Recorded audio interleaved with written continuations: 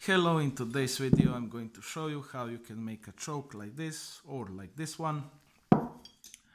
So let's start with a simple one, simple, nice and shiny one. To build this one all you need to have is a piece of uh, thin sheet metal like this. I used a, a paint thinner can for this one but you can use maybe hair products can, WD-40 can and uh, so on and so on. So as you can see it's a quite nice fit around it, tight fit. And all you have to do is take a wing nut. Oh come on come on. Well you get the picture. So uh, how to determine the slot length for this one well it's very simple. First you measure your port intake. This is 60 millimeters. And then add uh, another 15 or 10 or however far you made this hole. And you get uh, 75 millimeters as you can see. That's your slot length. Width of course would be the same as the width of the screw. In this case it's 5 millimeters. Then add 10 more from each side. You can add uh, 15 it's just uh, there to completely seal the come on to seal the entrance the intake of this air port when you lift up the burner lid. And uh, that's pretty much it. Uh, this one I made uh, with the super glue. I folded over this sheet metal as you can see and I glue it with uh, super glue. And then I folded over the side. You can add 5 millimeters for that. I will show you the method that I discovered but it was too late for this piece. Maybe on the other one I will use it. Basically what you do you take a round piece of steel like this. It can be nail it can be screwdriver it can be anything. And then you go like this. First put your thumb here and then shove this stick inside and then just go in circle like that. And that will fold this metal nicely over. You can make a flare like this that way. And uh, well that's pretty much it for this one. Very nice very simple to do. Oh and when I put it over the pipe like that all I did was I used these uh, hose clamps. I put it together and then I removed one by one and then I just use the super glue and glue it in segments. Easy way to do it that way. Well that would be it for this one and let's go to the to this one. What's the difference between those two chokes?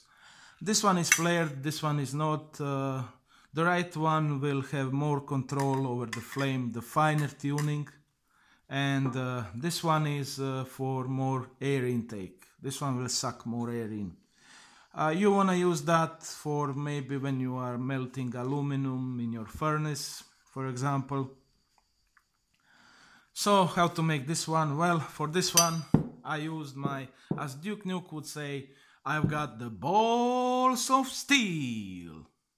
Well what if you don't have balls of steel? Well it sucks to be you but don't worry I have other method to do this. So for this one all I did was I heat up larger pipe than this one one millimeter thick. I put it over and I hammered it. And you thought this was a clickbait. I don't do clickbaits on this channel. So that was very simple. Heat it up put it around the ball and heat it. Well if you don't have a giant ball like this one you can use another method and uh, the method is you put uh, half an inch water pipe in your clamp, in your vise, uh, mark 20 millimeters, put the pipe over it like that, heat up the segment and then uh, tilt it and hit it with your hammer, go around in circle and you will end up with a flare like this. So let's see uh, for the flare like this, uh, this is 40 40, 45 millimeters. So from 35 it went to 45 Uh, what else to say? Oh, yeah. First one looked like this. I mean, look at this beauty. Come on. Isn't it perfect? but yeah, I'm not a perfect man, so I uh, ended up with this one. I mean, look at these beautiful welds. Not even the Rolls-Royce could do it better. When you fold this one over, just uh, don't forget to add one millimeter thickness of metal or you will end up with uh, pieces of pipe that you have to weld like I did. The original uh, thought was that I will just make one millimeter uh, gap and just put one weld. But uh, fate had other plans, so I ended up with uh, welding segments of pipe that I had from a previous bend uh, because this was a larger pipe than this one. So when you weld it uh, around make sure to use the clamp method like I did but uh, also put the beer can shims because uh, as this weld uh, cools down it's going to shrink. And uh, that's how you make this one this flared nozzle I, I added 20 millimeters as you can see here for the flare and then add uh, another 10 make our slot 75 and that's it.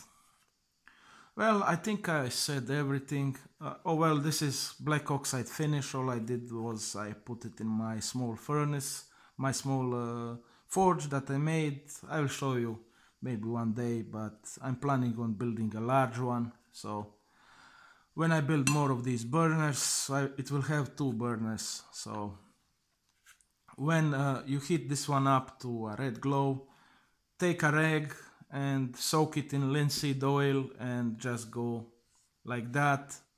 The the rag might might catch on fire but uh, just put it out and uh, you'll end up with nice black oxide finish like this one you can use first motor oil and then linseed oil.